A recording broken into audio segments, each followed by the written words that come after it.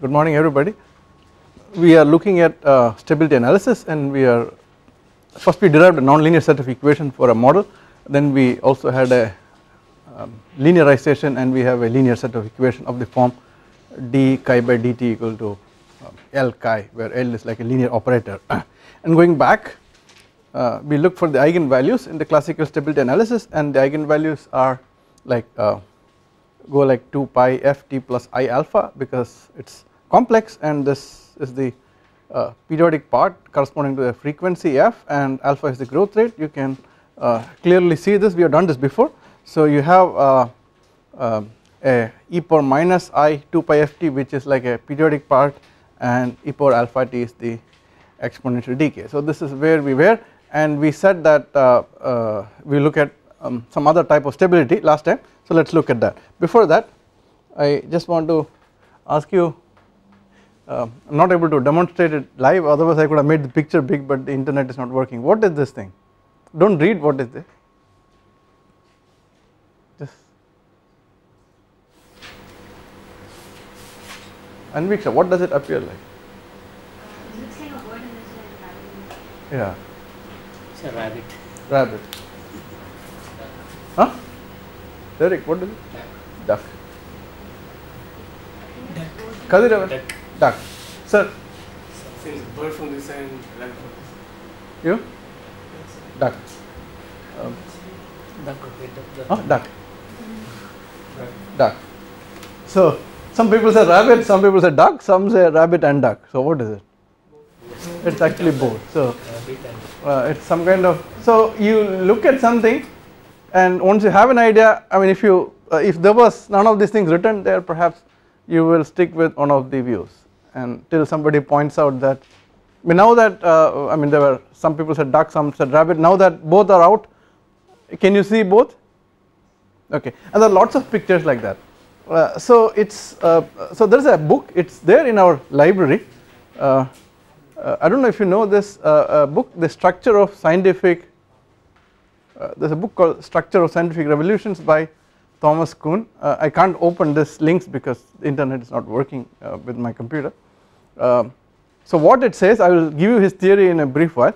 Uh, in, in, in, in brief what he says is there is a established view of things. He gives a lot of examples like discovery of oxygen quantum mechanics um, all kinds of things. And, and uh, several different uh, examples of how uh, something changed. So he calls there is something called normal science and paradigm shift. So normal sciences you know there is an answer. It is like what you read from the textbooks. You know there is a you read a gas dynamics textbook and textbook and there are problems and you are guaranteed that there is a solution. And then you keep on solving that. So that is like a jigsaw puzzle or something. You know there is an answer. So you think there is a duck and you try to fix things to be a duck. And then uh, you uh, multiply top and bottom by something add and subtract something whatever you do a lot of jugglery and so on but you still are within that framework and then comes around some guy from outside who does not know anything who has not heard that it is a duck. In our science the equivalent is he has not read any papers and is young um, arrogant or uh, does not care. And he says it is not a duck but it is a rabbit. And then everybody tries to beat him down. I mean it has happened uh, it seems the most of the Nobel discoveries were rejected by the journals first time. Okay uh, and then what happens is the established guys are very upset and then some kind of battles happen. Uh, and then um, in fact uh, uh, for the when the non-normal theory came in fluid mechanics if you see in internet Trefethen has given a presentation. He has said that there were wars fought in the conferences and to it was to such an extent that I probably have to edit it out of the TV but uh, the groups were not even talking to each other and really going down the uh, trying to kill each other and so on. Uh, but in the end what happens? If there is truth in the new view a new generation will grow up and eventually the oldies will die or retire uh, and then if there is truth the new guys will be opened completely young guy coming and smiling in the class and then they will come up with this view and given enough time will uh, overthrow the old one and then this view will stay for some time till another set of people come and they come up with a better view and overthrow this and this will go on forever. Not, not really overthrow it will say that it will work for one particular set of things but in general so Newtonian mechanics is one thing um, uh, chemical reactions another thing. There are a lot of reaction uh, a lot of examples. It is really a book worth reading and I strongly recommend you to uh, read this. So we will talk about a little paradigm shift in thermoacoustics where everything was in, um, in the uh, model framework till this dude came. Uh, what is his name uh, Kaushik Balasubramanian used to sit in this class uh, BTech uh, and then he said that uh, this normal mode is all uh, not right. I mean in general it is non-normal. In fact there is hardly any time when it is normal. And then what happens his papers were shot down. And everybody said that this is nonsense and, and he did a lot of analytically nice things. And um, they said you can do analytical thing in 1920 not in 2005 and, and so on. All kinds of nasty things came but there was truth in it. Eventually he overcame everything and uh, got his things out. So this is the first paper in this subject and uh, this guy he was a little guy like you. Only difference between you guys and him is that he behaved like a 12th standard student or 11th standard student not like IIT BTech which is a disgusting thing here IIT BTech or MTech or whatever. He behaved like a nice cool kid and that was the, otherwise he was just like you guys. And uh, he was really excited about life and passionate about everything you do and not just science but even playing basketball. He would play happily. Uh, not uh, uh, I mean not like uh, the B techs you think that happiness is a very uncool thing to be or something. Uh, anyway he did this and uh, he, he wrote a series of papers I think 7 papers while he was here. I mean not, not even PhD students do that kind of stuff. And so this is really hard paper to read but I invite you to read. Some of you are good at solving equations. He wrote another simple paper so that people can understand if they cannot uh, go through the rigorous maths in the other paper. He con constructed a toy problem. This is really easy going paper and in which he explains things. And even so uh, uh, if it is really new then came another set of DD guys who are also quite like school kids. Uh, uh, Sharath and Kushal uh, they wrote this paper explaining what is meant by singular value why singular value characterizes the energy growth and so on so together with these dudes I we engineered at IIT Madras a paradigm shift from normal mode stability analysis to non-normal stability analysis the subject was born here in our aero building actually. Uh, so we will go through this and the uh, this paper is uh, really nice it is really simple and very elegantly written uh, almost like kids write which is really nice because then you they understood and, and so on. Uh, Kaushik's papers are little heavy. He everything is obvious to him. But uh, but they are nice. I mean really elegantly written and, and so on. So I will uh, I really invite you to read this paper because sometimes if you see how a subject was born you should read the first paper in the subject to see how the thinking process is because here is some dude uh, 19 year old or something taking on Culick who is 80 year old and saying that uh, what look I am saying right and you are wrong. And and the guy tries to kill him back and so on. So uh, you know I, I think uh, you should see that. I mean so eventually 10 years later 20 years later this will be in textbooks. And it will not be in this form. It will be ordered very nicely and it will everything will, but by the time a textbook is written you can be convinced that the subject is over. There is no room for you to work. If you work if you are working in a subject with 10 textbooks it's it was solved 10 100 years back like gas dynamics. I mean everything is done. Really I mean it is a beautiful subject but in 1800s or 1900s if you live, lived it would have been exciting. Uh, the classical gas dynamics I mean now it's it's it's perfect. It's a great subject but I mean you can't redo Fanno flow and Rayleigh flow and all that. Even the unsteady versions are solved. Uh, so everything is solved. But uh, so then you move to a new place where you can make the new things. And then all the initial problems will be solved. Then people do heavy problems. Even the heavy things will be solved. Then you try to uh, play around with a little bit and, and, and so on. Uh, so we will try to explain this. Uh, so we have to talk about two concepts of stability. I, I took this slide, uh, I, this was given to me by my friend and colleague Peter Schmid from Ecole Polytechnique, he is a collaborator. So he says there is something called linear stability, we are interested in the minimum critical parameter above which a specific initial condition of infinitesimal amplitude grows exponentially. That means just key, look the key word is infinitesimal. You can be infinitesimal means it can be small and if you have a condition you can still take smaller and still take smaller and still take smaller. Then there is something called energy stability we are interested in the maximum critical parameter below which a general initial condition of finite amplitude uh, decays monotonically so that is the other limit. Now if you go to this graph uh, which I showed here so this uh, if you go by the definition above this uh, or to the right of this any parameter will go up and to the left of this anything will die. So that is energy stability and this is the linear stability. Okay is that clear. So now we have to link what so th this uh, Peter Schmid is a guy who kind of engineered the paradigm shift in uh, fluid mechanics uh, stability analysis in fluid mechanics or concept of turbulence and so on in the 90s he was a student at MIT now he is a professor at Ecole Polytechnique. And uh, they had, had very difficult time in the 90s when the establishment came um, came after them and, and then um, really had a hard time. And I think the subject was uh, started probably I, I do not know the history correct correctly. I think the first uh, pseudo spectra was perhaps computed in 1970 I think. And uh, there were papers from 60s and so on talking about transient growth.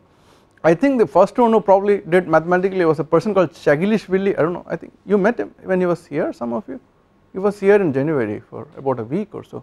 Uh, George Chagelishvili uh, you met him? Uh, he uh, did it in astrophysics accretion disks and so on.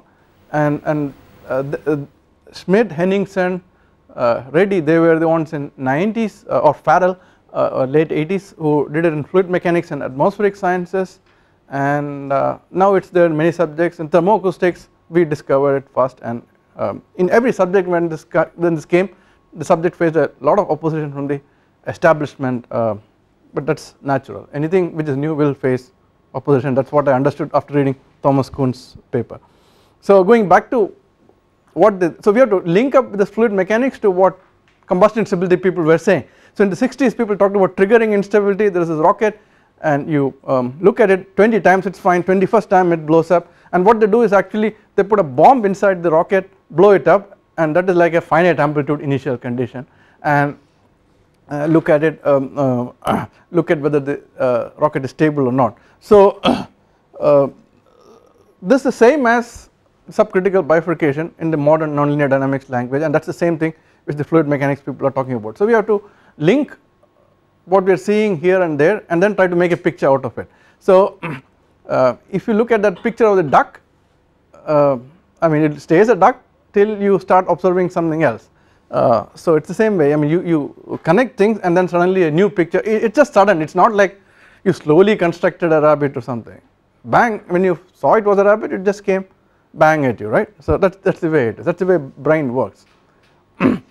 so uh, we saw that there was this uh, region where there is globally unstable and globally stable and in between there is a region where it is kind of potentially uh, unstable and there is uh, globally unstable. Uh, uh, you can construct these regions for various parameters globally unstable globally stable and then there is like a region where there is potentially stable. So I give example with how students behave in class. Last year I had the great fortune to teach third year BTechs so in the class uh, about 80 percent of students were always sleeping. So they are like this uh, globally stable region outside completely uh, sleep whatever you do uh, even before any disturbances put they are sleeping and whatever even if you burst a bomb they would not know. And there was uh, she sitting in the front always awake uh, no problem. And you do not no matter how bad I teach you will be awake. And there is in between guys Nafis you are globally stable. This fellow I could wake up Derek uh, and uh, if I yell and scream and so on then bang. Oh uh, right. Shabarish was kind of uh, unstable. He was awake most of the time actually so close to the half point. So mm, uh, this fellow whenever he came he was there but many times he was not present so uh, so this, this, is a good I mean that that is the way I think of this bistable region that some people whatever you do they are sleeping. So they are like stable. Or you cannot excite them to instability wake up and oh uh, some other people they are always awake you do not have to do anything but in between uh, there is this guys like Derek you you speak with small disturbance he will be sleeping but you raise your voice and, and throw a chalk at him and all that and ah where am I? Okay so this is like our subcritical system. So these are situations which are I think th teaching third year guys was really a great revelation. I think I would have been a lesser human being if I did not get to teach you guys. Uh, these are situations which are potentially unstable and the issue is how do you go to instability in a uh, subcritical regime. See if you teach MTechs you do not gain all this fundas about instability because they are always awake. So we again go back to this picture that you increase a parameter and first you uh, come all the way here you jump up but when you come back you do not come back straight here you have to go all the way back and come back here and then only go here. So this is like I was uh, uh, I mean you mess up but you can't just go back slightly and come back here. You have to undo a lot of things and only then you will fix it. It is just like life. You do one thing and suddenly everything messed up. And then you can't just stop doing that and life will be stable. You have to go back a lot uh, and uh, to clean up your life. So it is the same way in thermoacoustics. Uh, I, I think that is a very important point in uh, turbo machinery if not in life. For example if the uh, gas turbine becomes unstable usually the controllers not let it go unstable. They, they sense anything is there and they know the operating point and they not let you come anywhere close to that because what is the problem if this if it becomes unstable? Then you have to go back all the way to here. You have to cut back a lot and that, that they do not like. And generally it could be a super I mean subcritical bifurcation. Then you have to come back all the way. Now if the instability came on and things became violent and you do not know what is happening they will shut off the engine and shutting off the engine is um, quite involved because even if you shut off it will still run for uh, half an hour because they have very nice magnetic bearings with almost no resistance so will keep running. And then they look if anything is there or not. And then even if they restart immediately it will take another half an hour to bring to the full RPM so one hour power is lost. And this lost power the gas turbine company has to pay the power company uh, for the lost revenue for this hour. So the um, lawyers are very smart. Uh, so it, it is quite important that you do not approach instability at, at all from a commercial point of view. If it is a rocket it is unstable then it, it just blows up or it does not go where you want it to go and, and so on. It's, it's much more critical. Here at least you can start and bring it back after a half an hour or reduce the power or something you can do. In a rocket just gone it's gone. You, you don't have a mission then. So the question is can a small but finite amplitude disturbance cause triggering? So we are looking at triggering and uh, because we had some combustors which did this triggering that was the motivation when we looked at it and we were looking at uh, how the instability came on. So I came over this brilliant idea that uh, okay we, we had non-linear solvers and non-linear solvers were so, so, uh, showing this kind of thing it grew and came down. So then uh, but then some other conditions it came up. So I would have been okay if it just came down for small amplitudes and went up for large amplitudes but then before it came down it actually went up. Then I came up this brilliant thing that oh non-linearity. I read some popular books about nonlinear dynamics for dummies and so on. I said okay nonlinear dynamics can do a lot of things. Let us write a really linearized solver and then we will know for sure I mean you can remove all these fancy things and then we will see nice decay for small initial condition. You know Kaushik wrote the linearized the solver my student and it was doing exactly the same thing. And the nonlinear and linear were pretty much identical. You put them on top it looked the same and but if you jack up the initial condition you would go to a, a limit cycle so you are exciting almost under small identical amplitudes and uh, linear theory should work but then linear theory is showing this strange behavior. So then we decided to look at uh, acoustics uh, uh, equations and see what is happening. So we write the equations you can write this in non-dimensional form or dimensional form it is nice to do in non-dimensional form because uh, I mean it is general right so this is the momentum and energy equations. We derived this in the class, you remember? You did it sir, but uh, you didn't linearize the heat release. Uh, I didn't linearize the heat release, but I derived the equation. I mean here I, I didn't write the last one, but I derived these two, right? Yes, okay. So I think we should look at it. Otherwise, it's like uh, you uh, what is that? You you you do all this uh, uh, Ramayana story and you ask who is Sita and they say she is a ADMK leader or something. Should not be like that. Uh, can you please at least one equation we should be able to do. I mean there is only two equations in uh, acoustics and we should at least do one of them. So it is a shame. Okay so we have to edit this part out of the TV so we have the momentum and energy equation. Should I redo it or okay I will give you this oh no I think that is disaster. If you have the scan thing then you will keep it and then bring it in the exam and then at that time you will be wondering what it is do it okay. Uh, so we have the momentum and energy equation and then we linearize because is there anything non-linear in this equation other than the heat release in fact in the model we derived how did heat release go? And we help me out, I feel very bad. In the model we derived for Q dot heat release rate, we wrote a model. What kind of nonlinearity was there? We had a, uh, we said goes like um, um, right? We said this is a function of u of t minus tau. And what sort of function was this? Was it exponential quadratic square root uh, polynomial? And I, in fact what was the correlation called. Heckl's correlation. So I did Square root.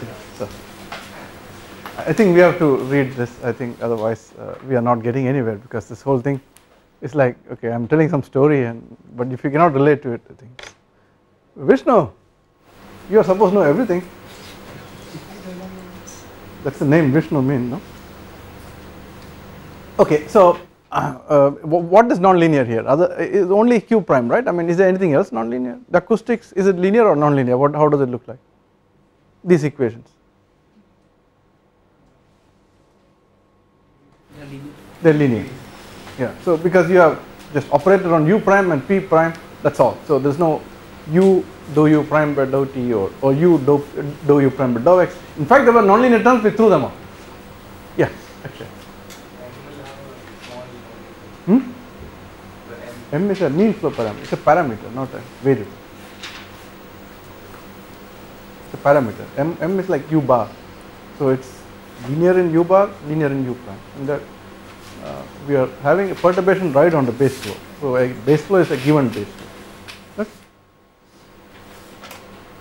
Uh, so we linearize the heat release. So linearizing means you say q dot prime is a times u prime plus b times p prime. But to get things look nice you have the scaling parameter and so on but we will not worry about it okay? But basically you can take the whole thing as a constant times u prime plus another constant times p prime. So now I have recast this equation in this form d dt of something equal to operator times something. So this is the dynamical system form and uh, of course the scaling uh, why gamma im u prime and not u prime? That is because the norm of this thing the state vector should go like some energy which is relevant. So it is like acoustic energy. So now if you look at the operator assuming r and s were 0 what can you say about it? Actually it's it will be a it's like a sy- symmetric uh, matrix. It will have uh, it, so it will surely be uh, it will commute with this transpose. A a transpose will be equal to a transpose a. Now because of the r and s if you work out uh, uh, this operator uh, will not commute with itself. So if you take the operator and let us call the operator a so a a transpose will not be equal to a transpose a. And then you call the operator non-normal. If a a transpose equal to a transpose a when then we say that the operator is normal. So a system is non-normal when the evolution operator does not commute with its adjoint okay? If it's a real operator you can take its transpose if it's a matrix and then the uh, d dx will be um, uh, what what is the adjoint? It will be minus d dx the adjoint of the differential operator okay? So you can work out in few minutes and you can show that this will not commute with its adjoint so thermoacoustic interaction is actually in general sense not normal. The only time it becomes normal is when r and s are 0 and even if you have a boundary condition which is a little bit complicated more complicated than u prime is 0 is or p prime is 0 then these operators at the boundary will change will become unsymmetric and then even that will bring some non-normality into the uh, system. Okay. So these things are explained in those references that uh, uh, I, I gave you at the beginning of the class. Yes, any questions Akshay? So what is this non-normality? So when I when we started I had never heard this term to be very honest and uh, later on I found out what it was because the strange behavior I saw this growth and decay for the linearized system I found that it was associated with non-normality but uh, in, in, in the presentation you can explain what is non-normal and then bring the subject in a very straightforward way. But when you do it first time it is not so straightforward because you hit on some behavior you do not know what it is and it is crazy and you think you did something wrong. And later on you find that okay this is what they call that. I will give you another reference uh, which is a very nice reference by Farrell and Ioannou. Uh, they are from uh, where are they? Harvard I think. Um, generalized stability theory part 1 autonomous operators. There is a part 2 for non autonomous operators also. Journal of uh, atmospheric sciences volume 53 number 14 uh, page 2025 to 2040 um, non autonomous operator means the operator is not a function of time. Non autonomous means the operator itself is a function of time. Uh, so you can I can give you this paper. Uh, so we can represent eigenvectors uh, geometrically. Any vector can be I mean represented geometrically of course I cannot represent 10 vectors geometrically in 10 dimensions but only 2 dimension I can uh, draw geometrically and 3 dimension I can construct with some sticks and, and so on in a you know like you have seen chemistry people construct molecules so with that we can do but at the moment I will stick with uh, uh, 2 vectors uh, because it is easy to draw. So phi1 and phi2 are 2 eigenvectors they represent eigenvectors but the same principle holds for 5000 vectors or 100,000 vectors. The phi1 and phi2 are decay in fact if you have any doubt you can bring a ruler and check if the okay sorry if phi1 is actually coming down from top to bottom. Same with phi2 phi2 is also coming down. So the blue line is the resultant. How do you construct a resultant? In vector algebra you must have studied in uh, parallelogram law. There is another law also triangle law. So we will draw with parallelogram law now and you see that the vectors are shrinking but the diagonal is growing. Now had the vectors been orthogonal like this and I shrink my, uh, my uh, resultant will also shrink okay but now they are like this and you see this is a problem I mean not a problem I mean uh, uh the individual vectors shrink that does not necessarily mean that the resultant shrinks. Now yes as you if they are shrinking and they are shrinking forever and as time tends to infinity phi1 will become 0 phi2 will become 0 and the resultant will also be 0 no question about that. So asymptotically each of the eigenvectors if each of them are shrinking the resultant will also shrink and tend to 0 but that is only asymptotically but before it dies it will create some damage and then only it will die. So in the short term it is going to grow. Now as a general rule if you have more vectors you will get more transient growth. If you have um, 3 you will get more than you can get more transient growth than 2 if you have 100 you will get much more transient growth than what you can get for 2 or 3 if you have um, 10,000 you will get even more transient growth and so on. So under these conditions eigenvalues are telling only the asymptotic stability. Asymptotic stability means as time tends to 0 what is the stability? So uh, right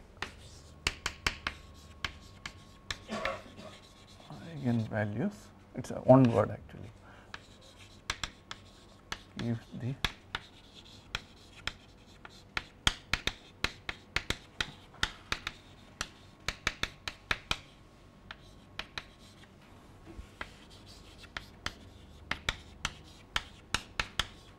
that means as t tends to infinity what happens. So if you see in the modal analysis we did we were looking at each mode how it is stable how it is unstable. So you, you, you can have each mode stable you can have all the modes stable but you still can have some growth that is what is the concept of transient growth you have individually each of them is decaying all are dying at time um, all are dying at a time t equal to infinity but individually uh, we look and everything looks stable but in a short time on a transient time there is a growth. Is this concept clear and can you correlate with the uh, geometrical picture I have drawn what is the office just for a moment can you tell me why it does not make sense.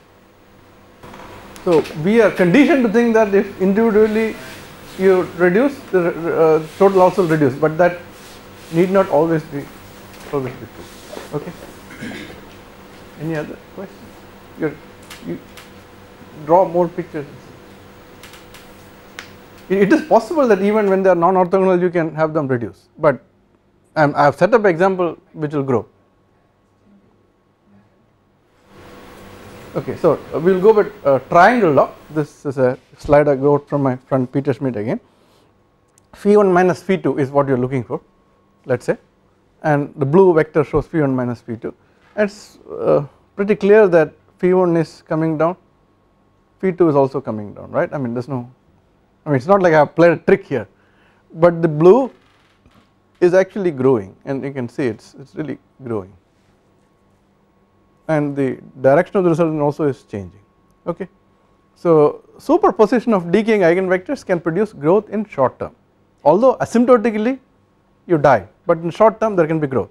And this was not considered till 2007 I mean 2008 Cauchy came with this breakthrough and he showed that it was non-normal under all conceivable conditions non-normality does not necessarily mean transient growth. Under for a non-normal operator can give a transient growth if you start with the right initial conditions. Because see can you give me a case when you do not have transient growth even for a non-normal operator?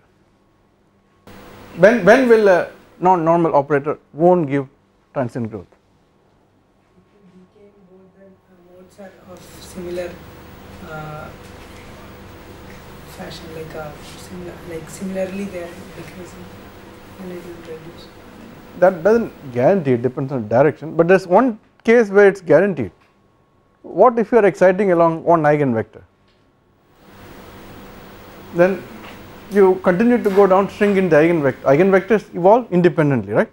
So I see you you have an initial disturbance and then you project on all the eigenvectors. So if the initial disturbance is along phi1 so let me draw this.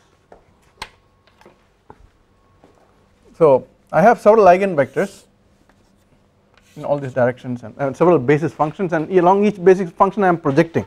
So let us say my uh, my entire disturbance is along this eigenvector so eventually it shrinks shrinks shrinks shrinks shrinks. So I am actually coming down this way. So I will never grow. Okay.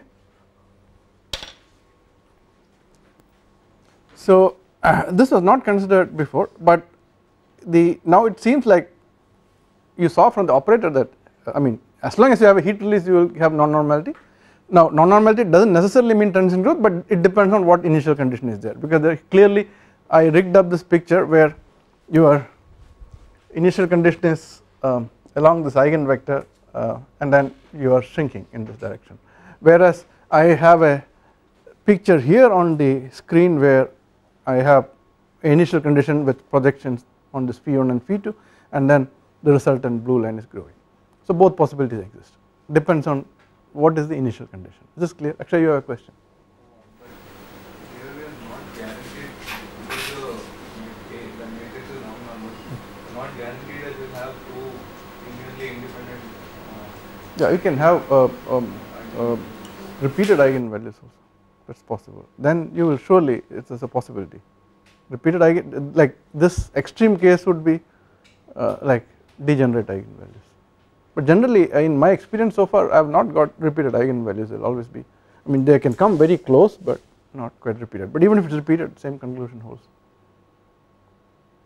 But, uh, there might be a case where you have only one, as in the eigenspace is just of dimension one. uh, yeah in that case you would not have this problem. But in general uh, minimum you have two equations. Even if you discrete, don't discrete just even with simple just two equations you will have two vectors. So yeah I mean you are in principle right but in practice uh, I mean you have several modes and so on so. You take a pipe and it has several modes right? Natural modes itself. So along near that there will be if you have heat release the modes will shift but uh, that is possible to excite so what you are saying is in principle true but in practice it is hard to find such a case So now it strikes on your face that everything is non-normal if you uh, but at that time it was quite new. so what is the consequence? So I mean so what if it is non-normal? So what is plotted here is the evolution of acoustic energy for a problem and you see the dotted line shows the uh, evolution of the linear system. So I have a linear simulation and I calculate pressure and velocity at every instant and then I calculate the acoustic energy and plot and there is some kind of transient growth and eventually it is dying down as time tends to infinity.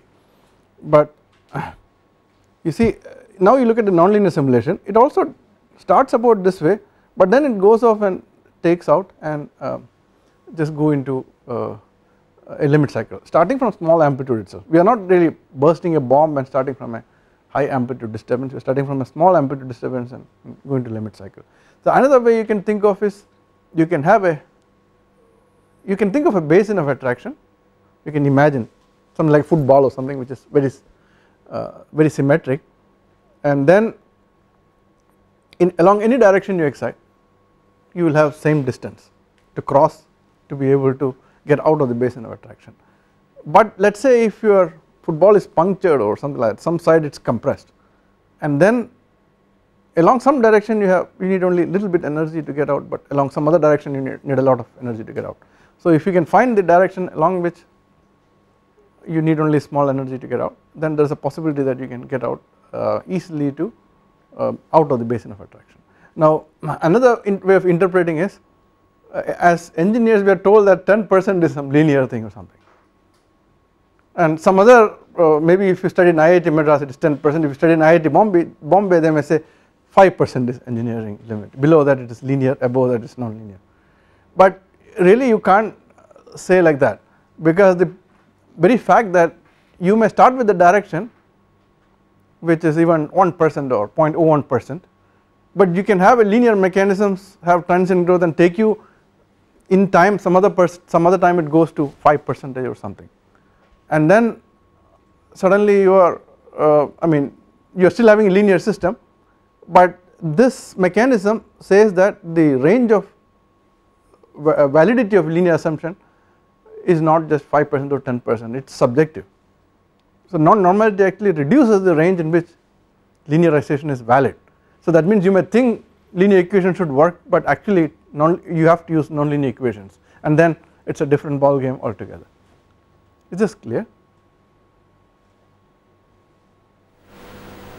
So uh, just to emphasize once again classical acoustics is uh, you have all these modes and they evolve independently and uh, they are not uh, uh, they are uh, normal modes but moment you have heat release you really have non-normal modes and then yeah I mean it, it makes the acoustic modes non-normal or non-orthogonal. So okay you did all this theoretical concepts and so on and uh, so what is the consequence? Does it have any I mean okay you can you learned all this in perhaps if you did, did, linear algebra you would have learned some of this stuff. I learned actually in third semester but I had no clue it was of any use. Uh, I had to relearn everything uh, two, two three years back. So we look at example of a Rijke tube we saw um, in the lab the Rijke tube we showed a movie and we will make a simple toy model uh, of the Rijke tube. And this is following this paper uh, thermoacoustic instability in a Rijke tube non-normality and non-linearity. We, we follow this.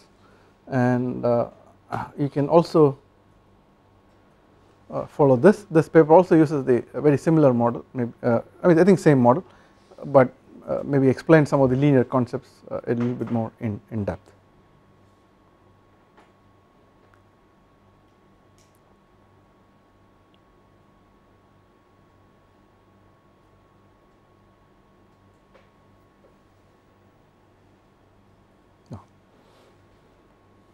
So uh, we saw that the Rijke tube is nothing but straight piece of pipe. It can be a tube or a duct or something square duct. The one we saw had a square duct. And we have a heating element which was made of wire mesh. Do you remember all this? Okay. And there was air flowing. How was the airflow setup blower yeah. And uh, how is the classical Rijke tube? It is vertical. And uh, what do you use to set up the airflow natural convection. It is always there so you do not have to use a blower. Now if the natural con convection is there already why are we uh, sidestepping it? We are sidestepping it because I do not want to uh, model the effect of natural convection. I want the model sorry? Flow speed you can yeah so uh, that is one thing. If I have uh, what uh, Nafis is saying is if you have a horizontal one then and you are using a blower you can independently vary the heater power as well as the flow speed. If you have vertical one the flow speed is uh, you do not need a blower but your flow speed is linked to natural convection. Of course you can have natural convection along with that you can blow also but okay uh, uh, but then in theory it is easy to set up the airflow rather than have the natural convection because if you are having a natural convection you have to model it and so to sidestep it I just do this horizontal thing. Now um, it is pretty clear that if you ever done anything anything that is easy to do experimentally will be difficult to model and anything which is easy to do in theory will be difficult to do experiment. So we you saw the Rijke tube which had so much accessories two decouplers on each side blower and, and so on uh, uh, and you had a uh, separate power supply and which won't burn lots of things. But if it was a horizontal tube all you needed was just a piece of pipe and that is all. You do not need any of these accessories. That is the way it is okay. So we take these equations and do you remember we did modal analysis? And what happened after we did this modal analysis? Why, why do you do modal analysis yeah I know modal analysis so I do. So there is a saying that if you find a hammer or if you have a hammer you will be finding nails everywhere. So Suji studied modal expansion. So wherever it is uh, do modal expansion. Yes that may be true. But if, if you do that what happens? If you drive a nail okay nail goes in and you can hang a calendar or something. So here what happens there this modal expansion it is like uh, I ask you where is Anna University? You say it is front of IIT and then I ask you where is IIT you say it is in front of Anna University. Yeah you cannot solve them using matrices but yeah it's it's towards solving. So wha what does it become?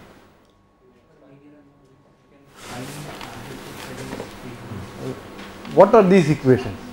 What are these equations? Partial. ah and when you do this what happens? ODE. you got ODE I think so. We want to convert PDE to ODE and why are we doing this? Easier to solve. easier to solve. Much easier to solve. Okay. So, so we want to solve the acoustic field and I am very very keen that I solve in time domain. Why? Because I have got crazy because simple frequency domain solution available. Why do not I want to do this? I mean you had the frequency domain solution very nice and elegant. McManus had worked it out very nicely. So why am I insisting on transient solution? Such a solution when there is heat addition like this. Is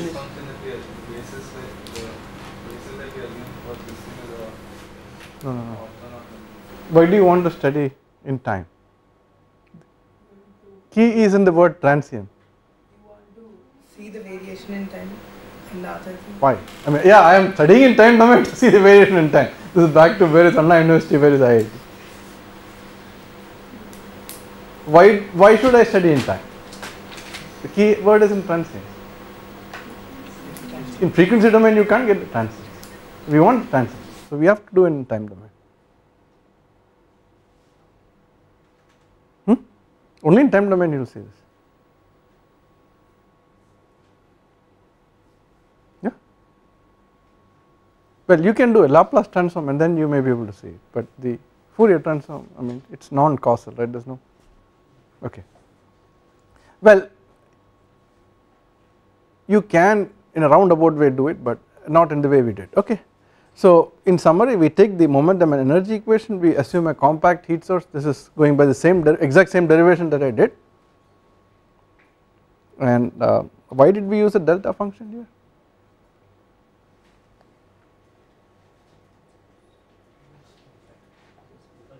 It is compact. Very we had a small heater. And then we write the expansion. And then we use this uh, Heckl's modified form of King's law to model the heat release.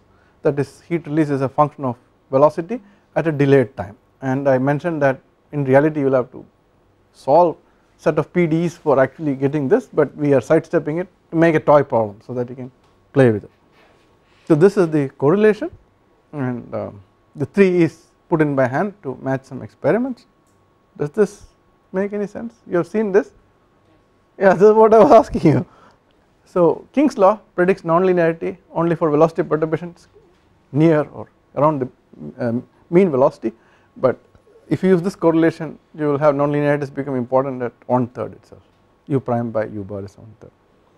So you do all this uh, algebra and then yeah this is the matrix which you are talking about. You get the equations of the form a dk over dt plus uh, a operator working on um, the chi plus uh, another non-linear function of chi equal to 0. So if you had only well, linear system you will have only the first two terms the last one is the uh, non-linear system So we get evolution equation and this is the uh, language of dynamical systems. Now in the earlier type of analysis people wrote everything in terms of second order equations but then if you get it in this form you can use the machinery from dynamical systems straight away.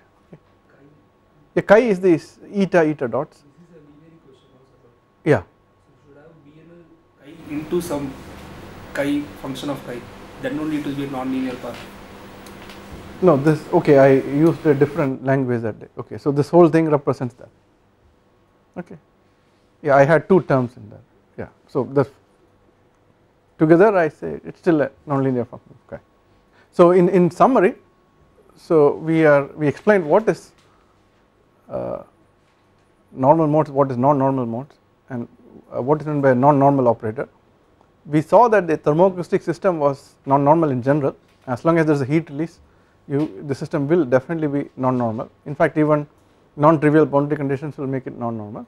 And then there is a possibility that you can have uh, subcritical systems where all the eigenvectors are decay but the resultant can grow if they are um, not uh, not normal or not 90 degree not orthogonal and now we will look at the consequences of this uh, of, of this with calculations in a Rijke tube and for other systems and then we will I will explain the machinery that we can use to study these things okay thank you.